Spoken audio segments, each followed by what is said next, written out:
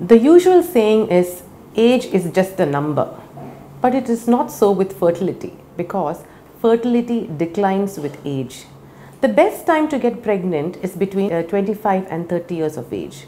Why is it so? Because we have the maximum number of uh, eggs, the best quality of eggs, and the best outcome, pregnancy outcome for both mother and the baby.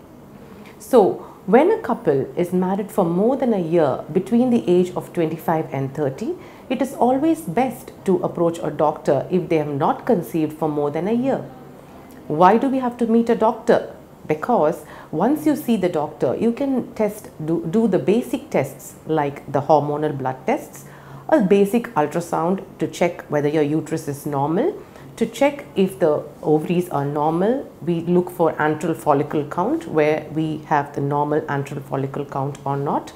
And also a basic hysterosalpingogram which will tell us that both the tubes are patent or not. And likewise for the male, we will be subjecting him for semen analysis. And once this is done, the basic tests are over we have a basic picture about the couple and we can give small assistance for getting pregnant. This is very important because the, we know that the best outcomes will be there between this age and they will have less complications.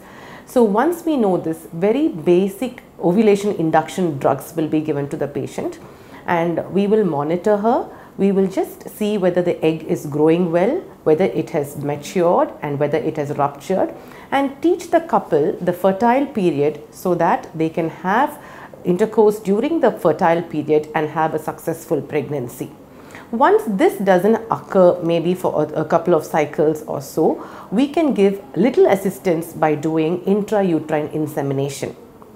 And only when there is no uh, in um, pregnancy even after intrauterine insemination we try to go for bigger tests and see why they haven't conceived. From the age of 30 years the quality of eggs and the quality of sperms start declining and even the number.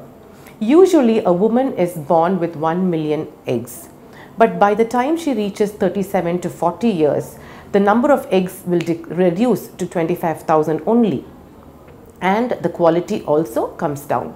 So this is the reason why we, we reiterate to the patient that having a pregnancy much earlier is more important. So in this way, we can avoid the um, bad pregnancy outcomes, chromosomal abnormalities that will be present in the eggs of an older woman and also the same with the semen.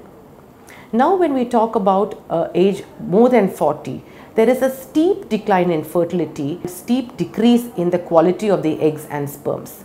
This will influence the pregnancy, the quality of pregnancy and the baby's outcome.